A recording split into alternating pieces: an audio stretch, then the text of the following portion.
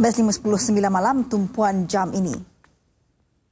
Lapangan terbang seluruh Britain terganggu berikutan kabus tebal yang menyebabkan pembatalan dan penangguhan penerbangan untuk hari kedua. Antara yang terganggu penerbangan dari lapangan terbang Heathrow London. Amaran kuning juga dikeluarkan untuk kawasan tengah dan tenggara England.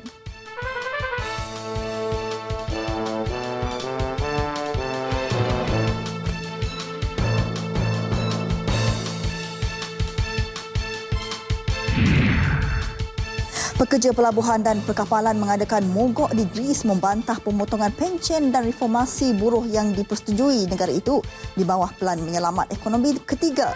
Pemimpin Greece menandatangani perjanjian menyelamat berjumlah 86 bilion euro dengan tambahan langkah-langkah penjimatan termasuk pemotongan pencen dan pemotongan dana kesihatan. Pekerja-pekerja terlibat berkata mereka mahu terus memberi tekanan kepada kerajaan Greece.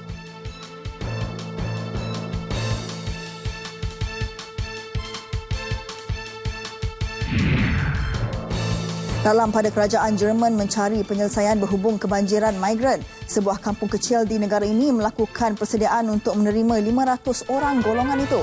Terletak di Lower Saxony, Somti hanya mempunyai 100 penduduk. Pekerja-pekerja terlibat menyediakan dewan untuk migran yang diterima masuk beberapa minggu lagi.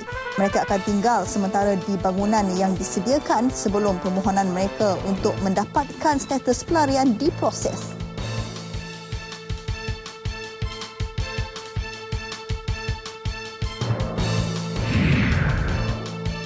Seorang remaja Gaza 15 tahun menzahirkan emosinya di atas kanvas melalui lukisan. Malak Matar berupaya melukis sama ada di cahaya terang atau suram berikutan pengalaman yang dilaluinya yang selalu berhadapan dengan situasi terputus bekalan elektrik. Mesej-mesej daripadanya boleh dibaca melalui lukisan yang dihasilkannya. Minatnya bermula apabila pihak sekolah menghadiahkan cat warna yang digunakannya untuk melukis kemusnahan Gaza. Cabaran terbesar baginya adalah mendengar bom digugurkan ketika sedang melukis. Ibu Malak memberitahu dia menunjukkan bakat melukis sejak dari kecil lagi.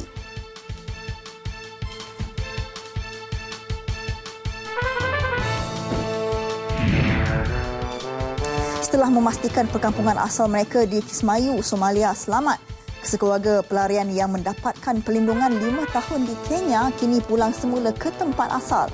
Bagi Ali tinggal di kem pelarian Dabat, Kenya tidak seperti tinggal di kem-kem lain. Ia amat selamat.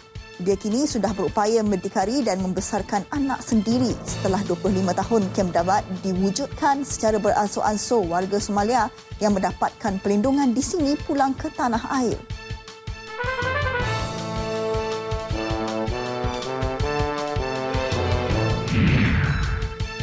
Saintis sensor motor berharap dapat membantu mereka yang hilang upaya atau lumpuh berjalan semula.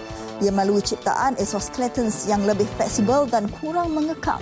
Ia dibuat daripada logam, ia dipakaikan di luar badan yang berkupayaan menggerakkan anggota badan. Ciptaan alat ini memungkinkan penderita angin ahmar atau lumpuh kembali bergerak semula.